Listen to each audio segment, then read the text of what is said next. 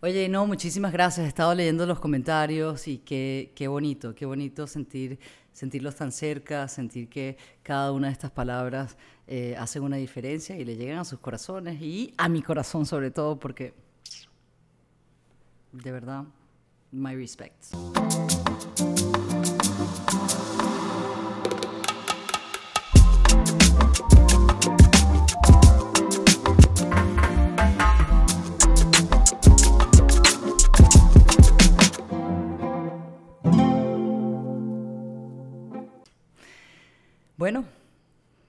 A The Zing, The Zing with Double G.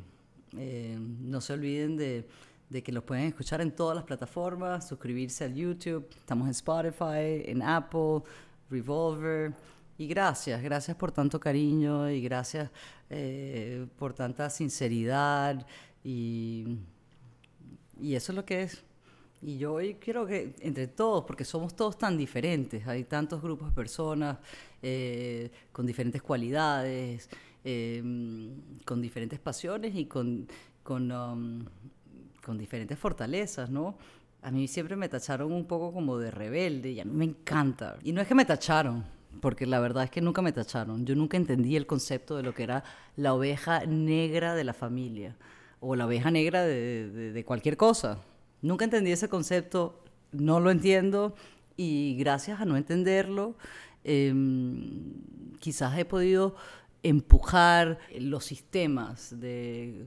Siempre hay espacio para mejorar, nada es perfecto, y, pero hay gente que le gusta seguir las reglas o, como bien me dijo un señor una vez, bueno, es que la religión existe porque hay que pues, ponerle reglas a 7 billones de personas.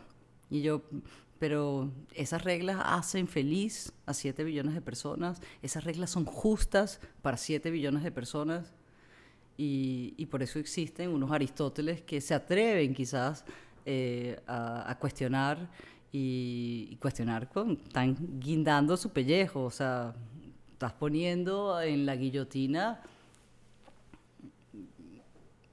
tu persona. Sócrates lo mataron. Mira, la, Gates. Hace 100 años las mujeres no podían votar. Hace 20 años las mujeres no podían tener una tarjeta de crédito. Y no solamente digo las mujeres, quizás cualquier hombre, persona de, de un color de piel, de, del, continente de donde viene, de la religión donde viene, ha sido pues eh, cuestionado porque son rebeldes, son extremistas, eh, piensan diferente. Y lo bonito es que pensemos diferente, que en esa diversidad hay esa polinización de, de, culturas. Mira, eh, yo este año 2021 me sentí súper rebelde, que no me había sentido hace mucho tiempo porque, bueno, vienes tratando de tanto de rebeldía desde tan pequeña em, a tratar de seguir las normas. Y yo digo, bueno, I, me siento súper rebelde. I'm going to pierce my nipples. I was feeling super rebel in this 2021. I, thought that if, since it was a, kind of a self expression, but at the same time, um, I didn't have the guts to do it. So I went and shaved my eyebrows. Como así como Maluma Baby. No me quedó tan bien. desastre total. Pero en ese desastre uno aprende. Yo digo que, que, siempre que uno se pueda atrever, no todo el mundo se atreve y está bien, está súper bien que algunas otras personas, pues, eh, te guste estar en un espacio de comodidad. Para mí siempre ha sido ese cuestionar cómo podemos cambiar, mejorar. Y por eso muchas veces me han tachado de la oveja negra, de la oveja negra de la familia, de la oveja negra de, esto. Eh, en el colegio, mire, yo recuerdo cuando estaba en el colegio, las niñas solamente en la educación física podían hacer gimnasia olímpica. Y yo tenía un trauma de que si me paraba de cabezas, eh, se me iba a romper la columna y iba a quedar cuadriplégica por el resto de mi vida. Y yo no quería hacer gimnasia olímpica. Y aparte no soy tan flexible. Bueno, ya he mejorado. Pero, pero mm, yo quería implementar otros juegos, ¿no? El fútbol en este caso fue específico. Y insistí muchísimo y las niñas obviamente no se querían anotar al juego de fútbol. Tanto insistí en el colegio y me dicen, bueno, bueno, si tú lo organizas y tú lo formas, eh, lo, lo, lo, aceptamos. Entonces tenía que eh, reclutar a 20 niñas a formar el equipo femenino del colegio. Las niñas, fútbol. Ay, no, porque es que nadie quería correr, qué pereza. Y yo, para mí, la actividad, el dinamismo era muy importante. Formábamos el, equipo de fútbol eh, femenino del Colegio Jefferson, donde estudié, y había un director y un profesor, que era mi profesor de matemáticas, y no me gusta decir nombres, pero bueno, bueno. ¡Pip! ¡Pip, pip, pip, pip, pip! Y este señor, eh, con mucho fundamento y con una certeza increíble, casi me hizo dudar de mí. Me dijo, ¡Sing! Si tú te gradúas de este colegio, yo me cambio el nombre. No solamente me volví presidente de la plancha estudiantil, formé la biblioteca del colegio, implementé todo lo que viene siendo la parte del estudio de, tecnología con, uh, con, el apoyo de, hacer, de, tener un salón de computadoras y, mm, y me gradué, me gradué con honores. Entonces el día que me gradué le dije, bueno, y entonces, ¿ya escogiste tu nombre? Come.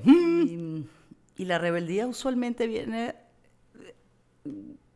adjunta quizás a un pensamiento o buenas ideas de que algo con una connotación muy negativa. Pero la rebeldía también es el catalizador de grandes cambios en la sociedad. Y yo empecé quizás de teenager con una rebeldía de, cuestionar las cosas, de, de, comportarme quizás de una forma rebelde. Eh, cómo te vistes, bueno, no sé, no tengo tatuajes, pero sí tengo un montón de cicatrices.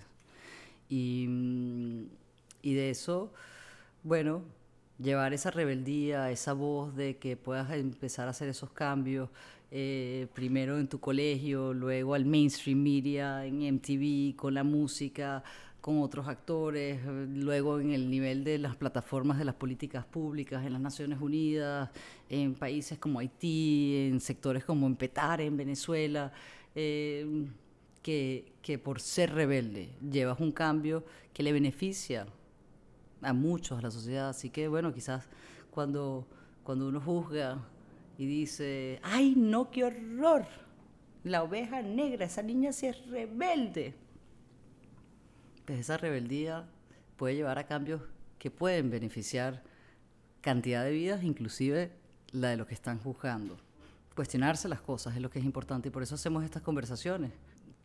Te a mí me hace reflexionar de que, y lo que quiero compartir es que cada acción tiene una consecuencia. Entonces, una cosa es ser rebelde con una causa y ser rebelde por algo que uno cree que puede mejorar pero tampoco uno puede ser como un malcriado que viene siendo un rebelde de Piers Morgan o algo así, que pues eso es un douchebag y es un soquete, quizás, quizás no, en su forma de reaccionar. Entonces, la rebeldía tiene una, un bad marketing. Eh, hay rebeldes con causas y hoy en día en parte de que eh, bueno, MTV, donde pasé mi gran parte de la carrera y el mainstream de, del entretenimiento, apoyaba, impulsaba la rebeldía. Cuando yo empecé a trabajar en este canal, era eh, eh, la esencia, era el ser rebelde, el poder expresarse, el poder, bueno, Soda Stereo, los, los Rolling Stones, y vienes Lady Gaga, cómo cambias un poco los paradigmas, los ideales de las personas en lo que está aceptado o no está aceptado. Eh, pero sobre todo que la rebeldía venga con causa. Y hoy en día, con uno va creciendo y va madurando, bueno, tengo la rebeldía de hacer que todas las niñas y las mujeres tengan las mismas oportunidades, que nos podamos incorporar, de lo que trabajamos con goleadoras, de, de poder lograr quitar todos esos mm, pensamientos soquetes y pendejos que no nos hacen sino limitarnos. Y si no, también está bien que no seas rebelde, que puedas pues sencillamente disfrutar, apoyar o beneficiarte de los cambios que suceden. Pero, mm, pero pues estamos en constante evolución. Como decimos siempre, la vida es dinámica. No son, estamos, hablamos con Dios, hablamos con el diablo, si es que existen. Que yo nunca he entendido ese concepto de la oveja negra de la familia. Y a mí, no voy a decir nombres, pero muchas personas alrededor mío y muy cercanas era como que, bueno, Eglantina era la loca, Eglantina la rebelde, Eglantina la oveja negra. ¿Loca por qué? Porque digo todas las cosas que las demás personas piensan y no se atreven a decir. Ay, no, qué horror, es que, porque a uno le preguntan a mí, no, y me dice mi mamá, bueno, porque es que nadie le da miedo escuchar lo que tú vas a decir. Y, pero también siempre, gracias, que, que, que me apoyó en, en, esos casos. Mira, yo tuve un momento súper traumático en mi colegio, porque aparte llego al colegio tarde, vengo de una mitad de una naturaleza, y me empiezan a tachar porque pues ese sistema que te quieren imponer, ese sistema que te bloquea todo lo que mm, tu curiosidad, lo que tú puedas pensar, tu forma de pensar. Y era como que todo el mundo tiene que pensar igual. Y yo, ¿pero por qué? Tengo que ser un pollo sin cabeza. Sí, y aparte ni siquiera pensaba que era porque ser un pollo sin cabeza, sino a mí no me hacía lógica lo que me estaban imponiendo y eran las reglas, la etiqueta. Y eso fue un contraste súper grande, porque vengo de una libertad, de una naturaleza, de una, un estado de supervivencia donde tú tienes una conexión con lo que realmente es real. Y cuando uno lo expresa, quizás puede llegar a ser tachado de líder negativo, de rebelde. Nunca, porque en mi vida le he querido quitar nada a nadie. Eh, en mi vida le he hecho daño, pero ni a un mosquito. Y sí, sí, disculpa. Pero creo que, que, que, a lo largo de, de mi vida, cada uno de los momentos han sido unos actos de rebeldía donde he podido hacer unos cambios, sobre todo para mí, personales, individuales, eh, pero creo que también pues los he compartido con el mundo llegar a trabajar a un canal como MTV, a un mainstream media y poder proponer cosas diferentes, promover otros estilos de vida, otros eh, pensamientos, eh, la libertad, la expresión, como vuelvo y digo, sin expresión no hay libertad. Entonces, nazco en una familia muy conservadora crezco, que, crezco en el Amazonas, en la mitad de una selva. Luego me meten en un tubo de un colegio y, de todo un sistema donde me dicen líder negativa, me cambian de, mi salón con mis mejores amigos y me meten a otro salón que no conocía a nadie. Bueno, era como, ay, me están, soy mala, soy buena, me estaba cuestionando yo, yo qué estoy haciendo. Ay, la oveja negra.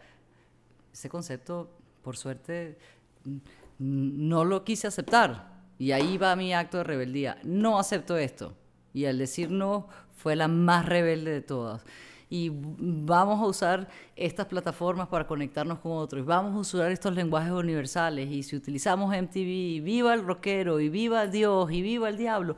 Porque es que si no existe eh, la oscuridad, no existe la luz, y si no existe un contraste, no vamos a poder eh, discrepar, discutir, conversar, crecer, evolucionar. Y en muchos casos quizás mis actos de rebeldía han sido eh, inconscientes. Y ya hoy en día va uno con una madurez y busca actos de rebeldía como lo he hecho quizás con goleadoras, quizás no con lo hago con goleadoras, eh, de por qué las niñas no pueden también anotar muchísimos goles y recibir esos aplausos de 60 mil personas en un estadio, en una audiencia y sentirse gladiadoras y diosas y grandiosas. Todos tenemos el chance. Ponle el trabajo. Y si ese trabajo significa que tienes que rebelarte enfrente a una religión, enfrente a una sociedad, enfrente a un sistema, pues venga, va a valer la pena. Mira, yo he sido tan rebelde y mis actos de rebeldía me han llevado a grandes cosas. Tanto así que me han llevado hasta la cárcel. Pero bueno, eso se los cuento en otro episodio. Bueno, a ver, cuéntenme que quiero saber cuándo ustedes fueron rebeldes, cómo han sido sus rebeldías, cuáles son las rebeldías que no han, eh, no han desarrollado. vengan a mi canal de YouTube, suscríbanse, estamos en Spotify, en Apple. Quiero leer sus comentarios, quiero saber lo que piensan, quiero saber lo que sienten. Aquí estamos. Una para todas y todas para una.